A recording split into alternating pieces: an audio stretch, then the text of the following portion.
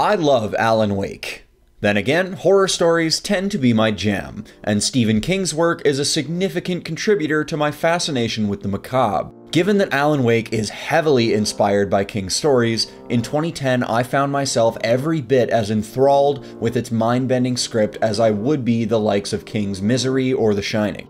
Even despite its glaring issues, both the narrative and performances turned in by the cast were so compelling that I could look past most of these shortcomings and the same can very much be said about Alan Wake Remastered. If you're new to the series, welcome aboard. If not, you may want to tread carefully before making a return to Bright Falls.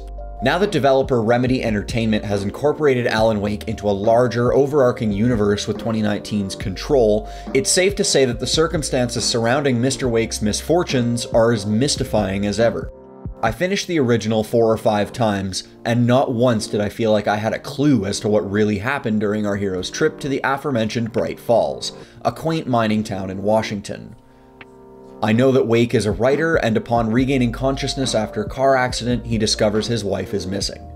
I won't go any further into detail at the risk of spoiling things, especially given that the plot points unravel the same way a good book or television show does.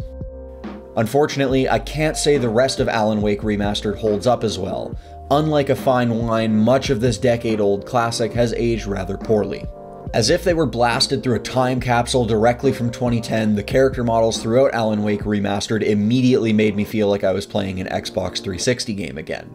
The rock solid frame rate and improved clarity, while much appreciated, work to highlight the stiff, awkward animations in both movement and facial expressions. Alan's wife, Alice, specifically looks like a Sears mannequin pulled out of my darkest nightmares. Awkward character models are one thing, but in addition to the overall look of the game not quite holding up as I hoped it would, several gameplay elements are going to frustrate newcomers more than adding to their experience. Most annoying is Alan's inability to run more than 10 or 15 feet without becoming severely winded. It was annoying 10 years ago, and it's even more so now and I don't want to hear anything about how Alan having the stamina of a two pack a day smoker makes things tenser. Equally as frustrating is that enemies still love to spawn both off screen and behind you. Worse yet, there's often no indication to let you know that an attack is coming from the rear. This wouldn't be an issue if not for Alan Wake utilizing a similar stand and shoot mechanic found in something like Resident Evil 4.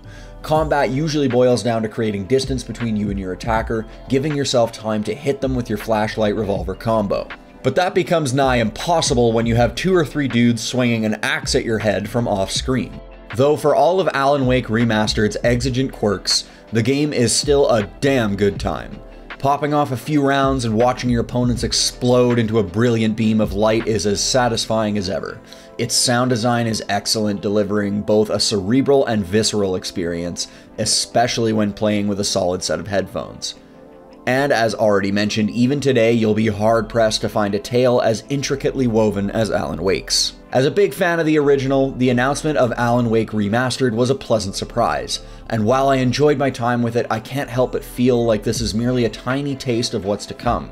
Veterans of the franchise won't find any reason to go back, and if they do, they may even find that the memory of playing Alan Wake is better than the game itself. Newcomers will find a lot to love, however, granted they can grind through its annoyances.